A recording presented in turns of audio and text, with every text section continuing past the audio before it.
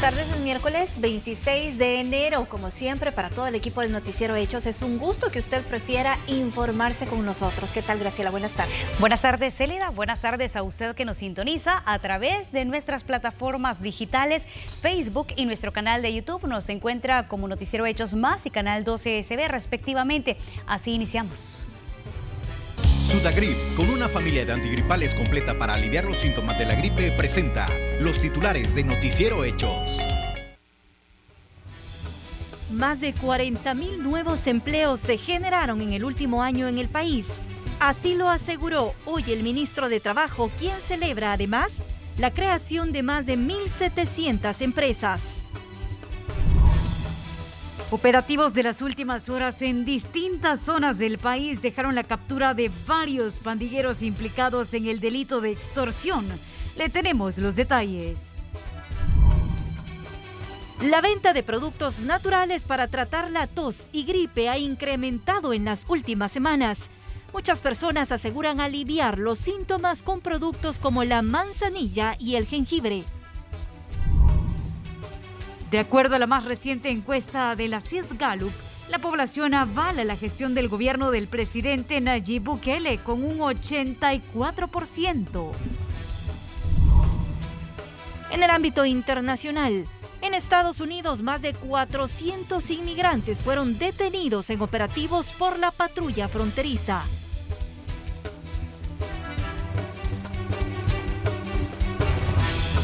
Iniciamos con el detalle de la información. El ministro de Trabajo, Rolando Castro, reveló que hay un incremento en cuanto al nivel de trabajo en nuestro país si lo comparamos entre las cifras de 2020 y 2021.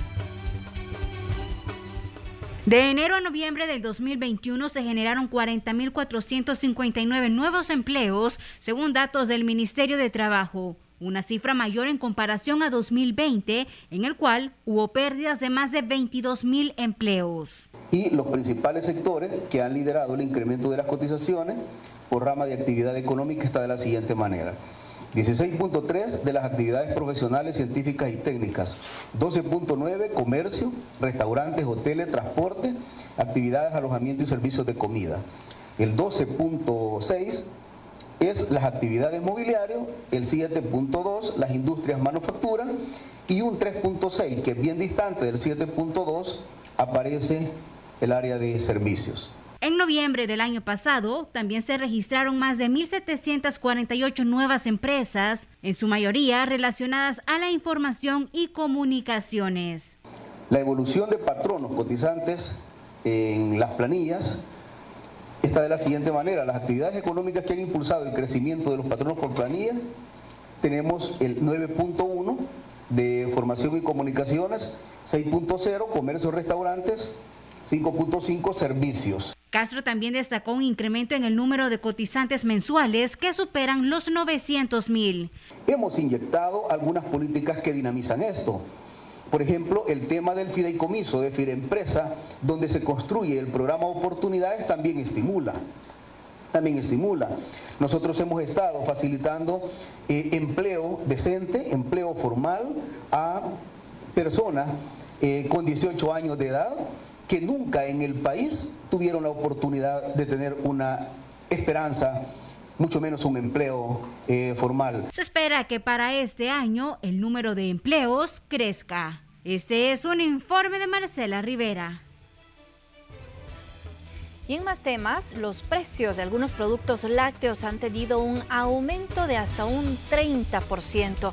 Ante esto, la Defensoría del Consumidor analiza posibles sanciones para quienes eleven los costos de manera injustificada. Los establecimientos de ventas de lácteos se encuentran bajo la lupa de la Defensoría del Consumidor debido al incremento en los precios que se han registrado en algunos productos, como el quesillo y los quesos secos donde a través de las inspecciones la institución ha identificado un aumento que ronda entre un 20 y un 30% en los costos por lo que analizan en qué casos podrían imponer sanciones establecidas en la Ley de Protección al Consumidor o del Código Penal. Los procesos de investigación llevan su tiempo. De momento ya hay varios requerimientos, de información que nos van a ayudar, ayudar a precisar justamente el nivel de responsabilidad y sobre todo la figura que eh, he mencionado, que tanto pueden ser sanciones administrativas o también delitos fiscales que podamos nosotros encontrar para poderlos procesar a través de la Fiscalía General de la República. Hemos realizado pues una investigación seria, tanto a nivel de productores como también de comercializadores. De momento todo indica que es un efecto estricto especulativo. A partir de esta investigación vamos a deducir la responsabilidad de aquellas empresas que han estado incrementando sin ninguna, sin ninguna justificación los precios. Otro tema en el que se mantienen vigilantes es en el precio de los productos de la canasta básica, ya que debido al incremento en los costos de los combustibles, algunos proveedores y comerciantes tienden a elevar el valor de los alimentos y en función de eso cualquier impacto en la estructura de costo debe ser proporcional. ¿A qué me estoy refiriendo? Que esos 15 o 20 centavos de incremento eh, de repente en alguna quincena en, en galón de combustible no se puede trasladar directamente ¿verdad? a ciertos productos en particular porque hay una estructura de costo en la cual se debe distribuir el impacto de, estos, eh, eh, de, de lo que puede tener el tema del transporte. Así que en función de esto, los análisis también de la Defensoría del Consumidor al momento de terminar alguna práctica abusiva, también los estaremos nosotros realizando. Y enfatizó que también sancionarán a quienes hagan malas prácticas como el acaparamiento, el cual incluso podría llevar a prisión a quienes lo realicen. En caso de detectar temas de acaparamiento, es decir, de retención de la venta del producto para la alza de los precios, vamos a aplicar el Código Penal con el auxilio de la Fiscalía General de la República que puede dar a sanciones eh, de prisión de dos hasta los seis años y en caso de detectar incumplimientos en el orden fiscal, ¿verdad?, de parte de los comercios que no están emitiendo facturas o que no están llevando un debido control de sus inventarios, se estaría aplicando las disposiciones que el Código Tributario establece a los comercios. Además, los proveedores que incrementen de manera injustificada los precios de los productos alimenticios podrían tener sanciones de hasta 500 salarios mínimos. Recuerde que puede denunciar cualquier anomalía ante la Defensoría del Consumidor, marcando el 910. Con imágenes de Roberto Martínez, un reporte de Iliana Leiva para Noticiero Hechos. Y en la sesión plenaria se aprobó la suspensión de embargos a caficultores por el pago de capital e intereses de deudas adquiridas con el Fondo de Emergencia para el Café y con el Fideicomiso Ambiental para la Conservación del Bosque Cafetalero aplicados a las cuotas de pago, esto a partir del año 2013. Con esto, los embargos estarán suspendidos hasta el 31 de diciembre del 2024. También se suspende el cobro de intereses contratados con las entidades antes mencionadas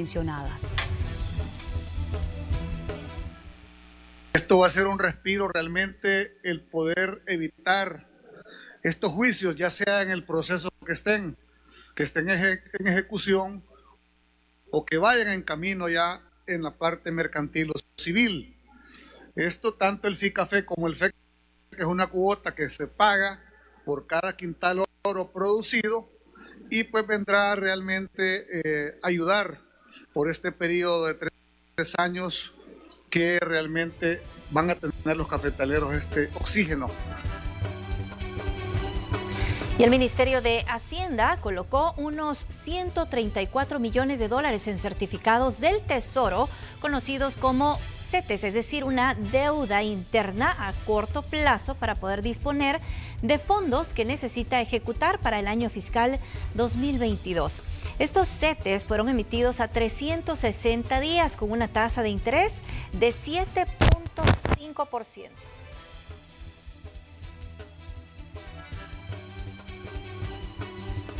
Vamos a cambiar de información porque cinco supuestos miembros de una estructura dedicada a la extorsión fueron detenidos en operativos realizados en el Departamento de la Libertad. En este caso, la Fiscalía giró 29 órdenes de captura.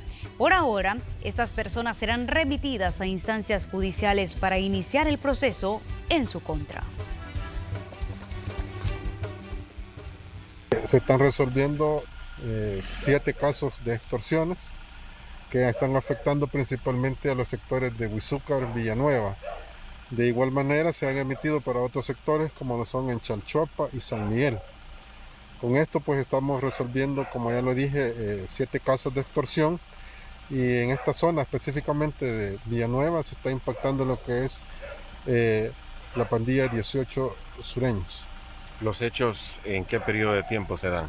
Sí, estas investigaciones datan desde mediados de 2020, se han venido desarrollando con diferentes técnicas de investigación hasta culminar con la individualización y captura de los imputados este día.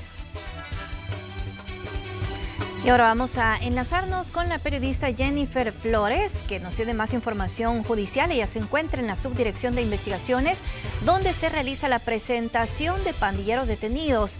En las últimas horas te escuchamos. Jennifer, buenas tardes buenas tardes. Contarles que el director de la Policía Nacional Civil brindó hace unos minutos una conferencia de prensa para hablar de las capturas que han realizado en las últimas horas y al mismo tiempo presentó a tres delincuentes que fueron capturados en el departamento de Santa Ana. A ellos se les encontró tres armas de fuego y varias porciones de droga. Escuchamos lo que decía el director al respecto. Del delincuente Juan Alexander Mendoza Argumedo, de 26 años de edad, alias el TAS, que es un palabrero de esa estructura que ordenó esas muertes.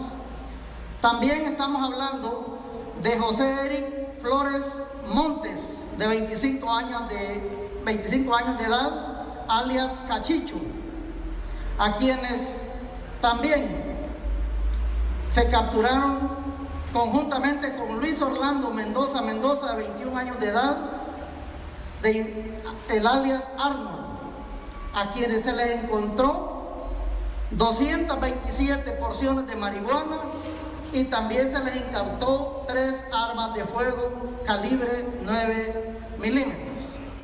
Como ya escuchábamos, el director de la Policía Nacional Civil brindaba los detalles de estas personas que fueron capturadas en el departamento de Santa Ana y que por supuesto se les atribuyen homicidios del mes de diciembre, pero el director reiteró de que no se quedarán con los brazos cruzados ante cualquier criminalidad que se ocasione aquí en el país.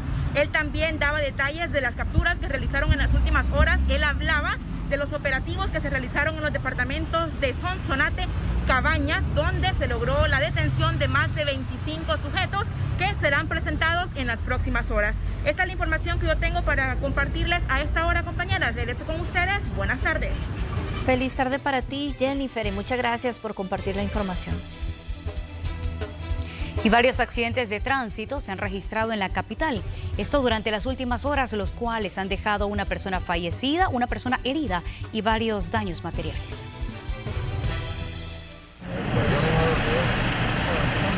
Una persona lesionada y cuantiosos daños materiales dejó un accidente de tránsito registrado sobre la 29 calle Poniente y la Quinta Avenida Sur en San Salvador. El irrespeto a las señales viales habría sido una de las causas, ya que uno de los conductores hizo un giro indebido, provocando la colisión frontal.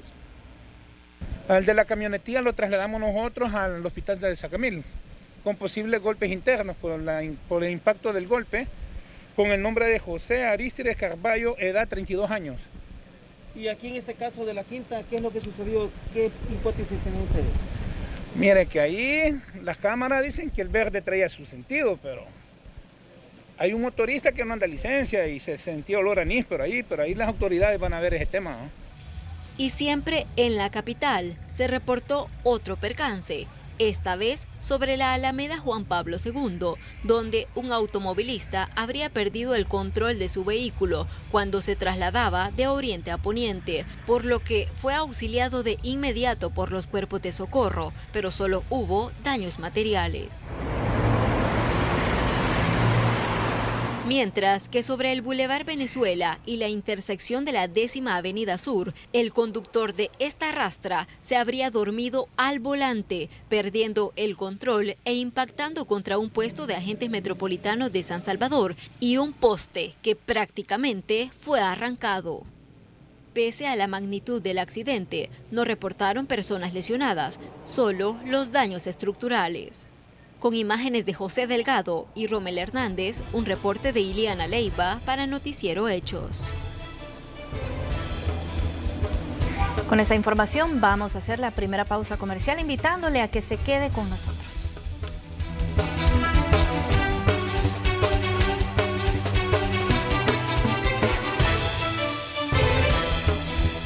Es que ante síntomas de gripe o tos es muy común entre la población utilizar algunos remedios caseros, como por ejemplo la preparación de té a base de hierbas. Comerciantes del mercado central en San Salvador aseguran que estos productos han sido más buscados por la ciudadanía. Con el incremento de casos COVID en el país de infecciones respiratorias, muchas personas optan por preparar diferentes remedios caseros como té de manzanilla, mezclar jengibre con otros ingredientes, entre otros, pues asegura que son eficaces para combatir estos síntomas. En el mercado central de la capital encontramos a Manuel, quien es naturópata, muy conocido en la zona, pues para él la mejor medicina se encuentra en los elementos de la naturaleza y muchos de ellos ayudan contra estos malestares. Esta es una manzanilla preparada que le llamamos nosotros. Contiene manzanilla, gordolobo, semillas de niquidamba, eh, semillas de, bálsamo. Esto lo puede tomar la persona cada cuatro horas dependiendo de la gravedad de, su problema. Eh, lo puede tomar cada cuatro horas. La bolsita le sirve para cuatro litros si la hierve toda, ¿no? Esta semilla llamada Nikidamba, aseguran quienes la comercializan, disminuye las fiebres y se ha sumado a las hierbas para tratar la gripe y tos, productos que han incrementado sus ventas desde los primeros días del año. Esto le sirve para lo que viene siendo este, para quitar la fiebre. Para quitar la fiebre. Ajá, sí, para la fiebre. ¿Y este que tenemos este por acá? Este es el gordolobo, para quitar las flemas. Para quitar las flemas. Sí, para quitar las ¿Y flemas. este que está por acá? Es la manzanilla, es lo más reconocido para la gripe. La manzanilla. Sí, la manzanilla. ¿Estos productos son los que más suele buscar la población cuando tienen síntomas gripales? Sí, es lo que más busca la gente hoy en día. Que sí funciona, sí funciona porque mucha gente me viene a buscar aquí. Les ayuda bastante este remedio. Muchos de estos remedios que se hacen en infusiones suelen ir combinados con miel de abeja, la cual contiene minerales como el hierro, calcio y vitaminas de gran beneficio para la defensa del cuerpo humano. A veces la gente cuando lo lleva me dice, mire, este, ¿para qué sirve? Ah, pues sirve para varias cosas. Ah, pero yo la llevo para tos. Ah, y alguna receta en común. Fíjese que yo he oído que dicen que, bueno, yo la he ocupado con cebolla morada. Esta es manzanilla 100% natural al igual que los productos que se encuentran tras de mí como el eucalipto y el jengibre, son los más utilizados por la población para preparar test y combatir síntomas gripales o tos. Sin embargo, queda a criterio personal el que los utilice o optar por cualquier medicamento para tratar estos síntomas. Para Noticiero Hechos informó Aldair Tadeo. Y la población salvadoreña que presenta síntomas gripales y que por diversas razones no acude a clínicas u hospitales tuvo la oportunidad de contar con una jornada médica en el centro de San Salvador en la que se dispuso 75 elementos para atender consultas en medicina general, odontológica, psicológica y educación en salud. Al finalizar los procesos de salud y en caso de ser necesario, los capitalinos pudieron contar con medicamentos y kits de bioseguridad. Durante la jornada, los salvadoreños también pudieron contar con abate con el fin de evitar la propagación del zancudo transmisor del dengue y chikungunya. En esta mega jornada de salud se brinda atención médica general, atención odontológica, educación en salud, también se da medicamento y eh, pues si alguien tiene bien se le puede entregar el abate. El objetivo de esto es de alguna medida cuando se hace la entrega también del kit de mascarilla y alcohol gel, recordarle a los salvadoreños, a los capitalinos que el virus del COVID todavía está presente. Y en el municipio de Santa María, en Usulután, se están realizando jornadas de abatización con el fin de erradicar el índice larvario que existe en la zona. En el municipio de Santa María, como parte de disciplina del Ministerio de Salud, se están ejecutando jornadas de abatización casa por casa, donde están trabajando promotores de salud, inspectores, enfermería y médicos, esto con el objetivo de bajar el índice larvario. En esta oportunidad estamos abatizando los lugares priorizados, donde el año pasado se presentaron los casos y donde se están presentando casos actualmente, ya que nuestro municipio pues es grande, más de 3.000 viviendas, entonces necesitamos priorizar para ir poco a poco llegando hasta todas sus casas a darles el abate. El personal de salud le da a conocer a la población la importancia de conservar el abate en sus pilas o barriles. La bolsita de este es de 20 gramos y tiene una duración de dos meses. Nosotros le explicamos a la población que es importante que el abate lo mantengan en sus pilas, en sus barriles, en los objetos que tienen agua. El abate dura dos meses, la bolsita de abate. Pero hay personas que sacan el abate, no les gusta, ¿verdad? Pero es importante que lo mantenga porque estamos nosotros con esto eliminando lo que es la proliferación del zancudo, ya que se evita que nazcan los zancudos, que tengan larvas en sus pilas.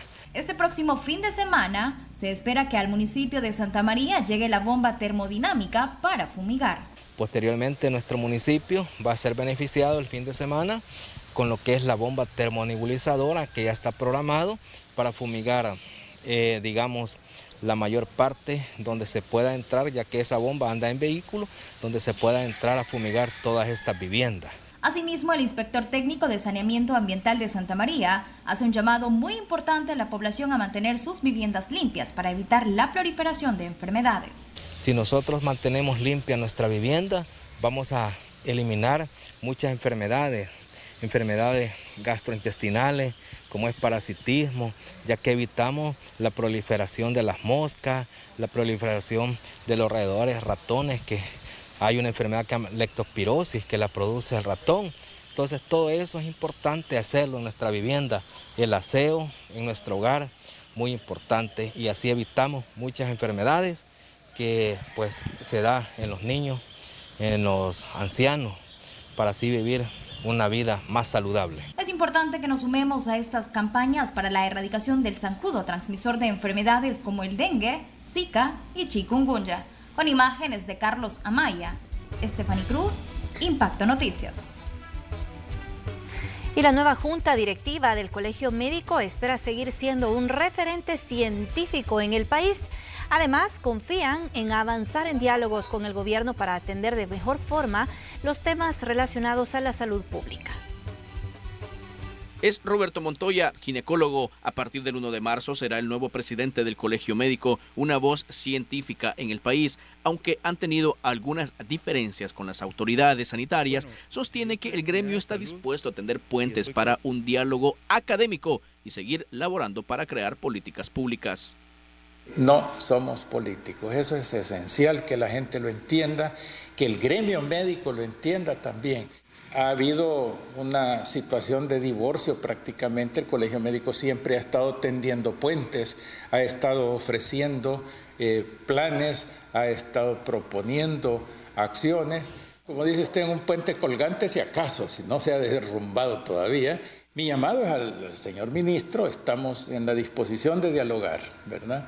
El colegio continuará con sus acciones que le manda la ley, que son mantenerse dentro de la, de la academia, y podemos dialogar, podemos colaborarle en muchas cosas, seguramente que sí.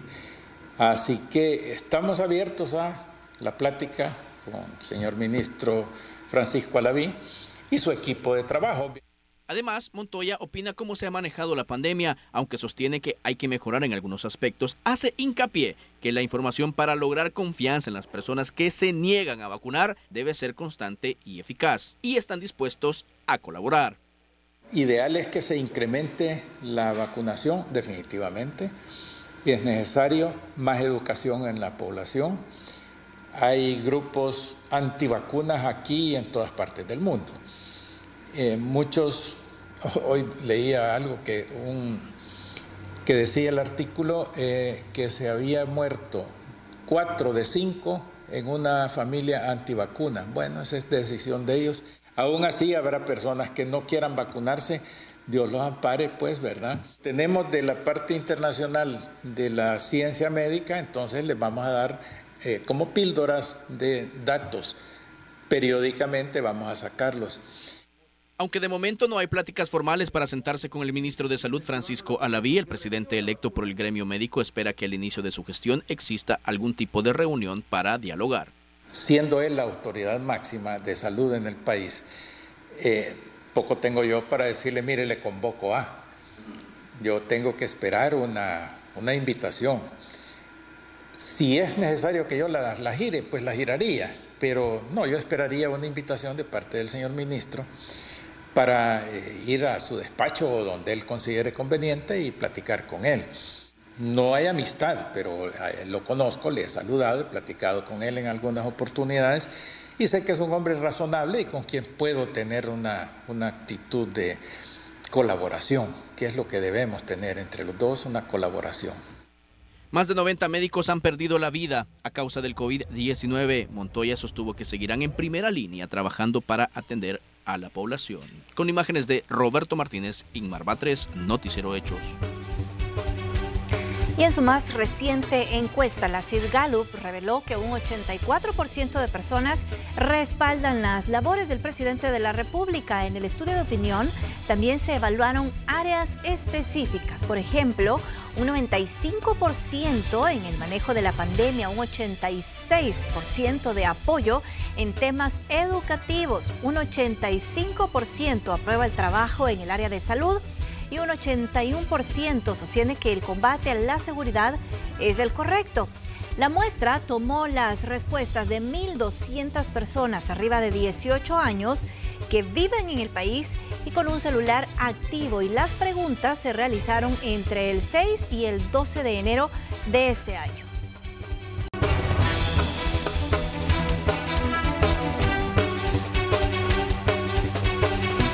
Gracias por continuar informándose en compañía de Noticiero Hechos. Feliz provecho si usted almuerza a esta hora. Y ahora vamos con nuestra sección Negocios Hechos. Y le vamos a presentar el trabajo de un grupo de viveristas que con esfuerzo y dedicación están logrando que otros emprendedores puedan salir adelante. Jennifer Flores nos cuenta más a continuación es el espacio ideal para quienes buscan plantas, ya sea para decorar viviendas o exteriores, pues en este vivero ofrecen una variedad de flores, plantas ornamentales, suculentas, entre otras. Aquí puede encontrar diferentes tipos de plantas, ornamentales, frutales. En ornamentales le tenemos rosas, veraneras, tipos de canastas en begonia, petunia, este, hortensias. La variedad está disponible. Y es que este negocio se ha convertido en la principal fuente de ingresos de los viveristas, un sector que se vio afectado por la pandemia del COVID-19 y que ahora busca la manera de sostenerse en el rubro. Por eso ofrecen gran cantidad de plantas a diferentes precios. El precio varía en ella, hay de a 3, de a 5, igual este, en la veranera varía el precio, en diferentes tipos de colores, según así es el precio, le tenemos de a 5, de a 8, en macetas, canastas. Desde este vivero, además apoyan otros emprendedores con la venta de artesanías, productos que a la fecha se han vuelto atractivos para quienes los visitan. Pues le tenemos artesanías, moldes para poner este, canastas, eh, figuras de hormigas, igual para poner canastas decoraciones que ella pues se va a traer de otras. Apoyando a otros productores. Sí.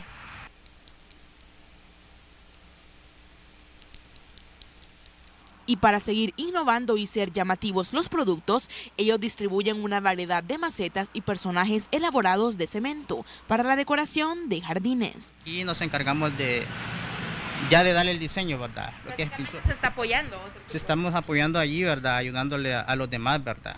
Como una cadenita, ¿verdad? Si ella ayuda a los demás y, viene ella acá, pues y nos ayuda a nosotros también en lo que es el, empleo, ¿verdad? Porque nosotros de esto aquí nos, nos mantenemos, ¿verdad? Para, para poder llevar el sustento a nuestro hogar, ¿verdad?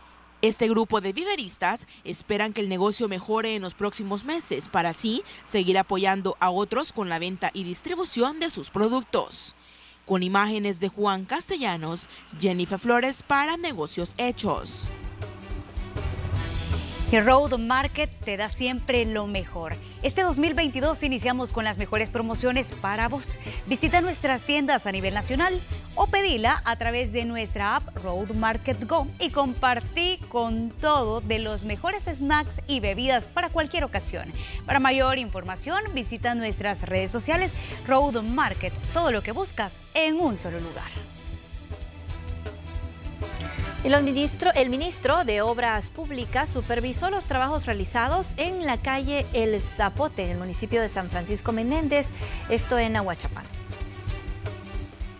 El ministro de Obras Públicas llegó hasta el cantón El Zapote en el municipio de San Francisco Menéndez, Aguachapán, para supervisar los trabajos de pavimentación de esta principal arteria, la cual se unirá al kilómetro pavimentado en el año 2019. Nosotros en el año 2019 iniciamos con la pavimentación de un poco más de un kilómetro de calle, eh, la cual ya cuenta con eh, las condiciones eh, dignas para que puedan transitar vehículos, para que la población también se pueda movilizar de estos sectores. Pero la calle es más de un kilómetro, la calle son cerca de 7 kilómetros aproximadamente. Entonces, ¿qué es lo que vamos a hacer en este momento? Pues vamos a intervenir el resto de kilómetros, es decir, casi 6 kilómetros, para poder garantizar que todas las familias de este sector se puedan transitar de una manera más ágil y de una manera más segura, ya no con las condiciones de la calle de tierra que tenían antes. Los habitantes de esta zona costera agradecieron al ministro de Obras Públicas.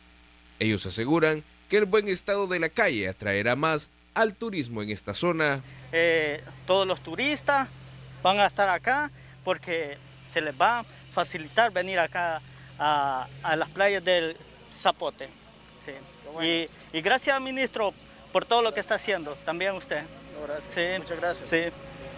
Herrera además detalló que se intervendrán otras arterias importantes en esta zona sur del departamento de Aguachapán. Hay diferentes obras que se van a ejecutar a través del Ministerio de Obras Públicas, eh, principalmente las conexiones aledañas de esta calle principal que vamos a, a pavimentar, de la calle El Zapote vamos a, mejorar las vías de acceso aledañas para todas las familias que viven en este sector, pero adicional a esas obras, pues también a través de la Dirección de Obras Municipales y a través de Fovial, pues vamos a estar recarpeteando y reconstruyendo algunas calles eh, que son ruta MOP, que son ruta Fovial, o que también son ruta municipal y que han estado eh, dañadas por años, por décadas. En un lapso de 120 días se espera terminar por completo un aproximado de 7 kilómetros, los cuales vendrán a dinamizar el turismo en esta zona costera de Aguachapán.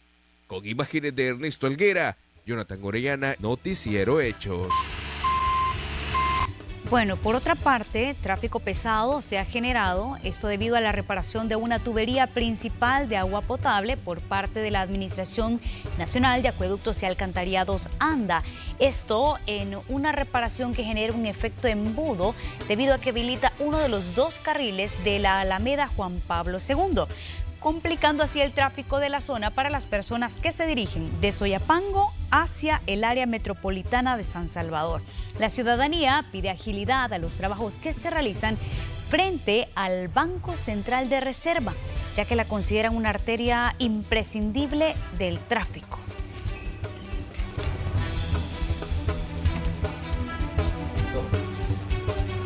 Y en otros temas, en la Asamblea Legislativa se aprobó una nueva ley para evitar casos de maltrato animal y castigar a quienes lo cometan. Veamos en el siguiente informe lo que contempla.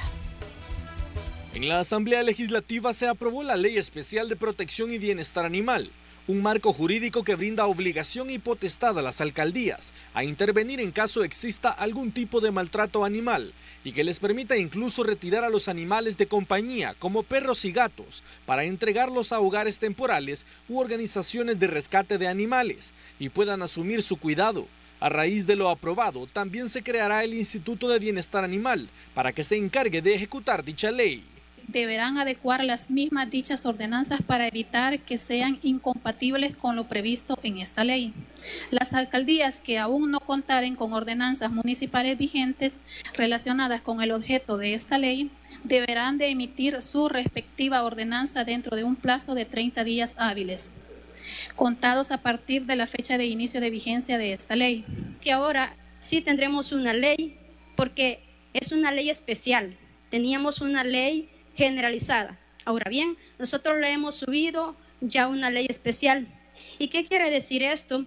Que una ley especial que sí estará para garantizar que los animales ahora sí tendrán el sustento jurídico que necesitan y trabajará directamente para ellos. La ley contempla tres tipos de faltas, leves, con multas de entre uno y tres salarios mínimos, que incluyen no identificar animales de compañía, comprar perros y gatos o no brindar atención médica. Luego, las faltas graves, con multas entre 4 y 6 salarios mínimos, entre estas que los animales no tengan espacio adecuado, evadir su vacunación y tener conflictos vecinales por trato inadecuado. Y por último, las faltas muy graves, de 7 a 10 salarios mínimos, por el sacrificio de animales de compañía, no proveer agua y alimento, abandonar animales, zoofilia, compra y venta no autorizada, incluyendo plataformas digitales, entre otras. Esta ley fue trabajada con apoyo de activistas que velan por los derechos de los animales. Realmente se está viendo que las municipalidades están participando y nosotros como sociedad también debemos participar y unirnos denunciando. Ellos merecen ser defendidos ya que son seres inocentes que no tienen la capacidad de defenderse y no tienen voz. Nosotros tenemos que ser la voz por los derechos de estos animalitos inocentes. En esta iniciativa eh, se ha notado la buena voluntad, ¿verdad?, hacia una mejor cultura de, respecto al trato de los animalitos. Las leyes van a ser más duras respecto a todos los maltratadores, las sanciones van a ser más duras y pues es un enorme paso. Nosotros estamos muy contentos porque hoy por fin se va a poder trabajar. Eh, con, esta herramienta que nos están brindando las alcaldías ya no tienen más excusas para poder seguir trabajando, para poder hacer cumplir la ley. Según la ley aprobada, las sanciones impuestas podrían reemplazarse por trabajo de utilidad pública, acorde al monto de la multa. Néstor Hernández, Noticiero Hechos. Bien, vamos a ir con más información porque en el continente americano también han sido aprobadas normativas que castigan el maltrato animal. Veamos cuáles son algunos de estos países. Las normas en países como Honduras, Costa Rica y Nicaragua toman en cuenta las cinco libertades básicas de los animales, las cuales han sido declaradas por la Organización Mundial de la Salud Animal. Por ejemplo, en Argentina en el año 2011 se decreta por el Poder Ejecutivo el Programa Nacional de Tenencia Responsable y sanidad de perros y gatos, mientras que en Bolivia la ley para la defensa de los animales contra actos de crueldad y maltrato considera que ostentan el derecho a ser reconocidos como seres vivos y en Brasil son sujetos de derecho en Chile incluidos dentro de los apartados relativos a los bienes del Código Civil. En Colombia, la Ley 84 de Protección Animal adopta el Estatuto Nacional de Protección de estos y en Costa Rica hace referencia a la conservación de la vida silvestre, mientras el precepto 71 en Ecuador indica que toda persona, comunidad, pueblo o nacionalidad podrá exigir a la autoridad pública el cumplimiento de los derechos de la naturaleza. En nuestro vecino país, Guatemala, la protección y bienestar animal los reconoce como seres vivos que sienten, contando con una especial protección contra el sufrimiento y dolor, mientras que en México, al igual que en la mayoría de países de Latinoamérica, la situación legal se deriva de la tradición jurídica del derecho romano. En Nicaragua, la ley considera que los animales domésticos son seres vivos que sienten, prohibiéndose todo acto de crueldad que cause lesiones, sufrimiento o muerte. En Perú se efectúa la protección y bienestar de toda especie, prohibiendo las peleas. Y finalmente, en Venezuela se prohíbe el sacrificio en la vía pública, mercados y campos feriales, así como la cría y el transporte insalubre. Inmar Batres, Noticiero Hecho. Igual para ti, Lore, feliz tarde. Y así concluimos esta entrega de Noticiero Hechos. Gracias a usted por habernos acompañado. Les deseamos una linda tarde.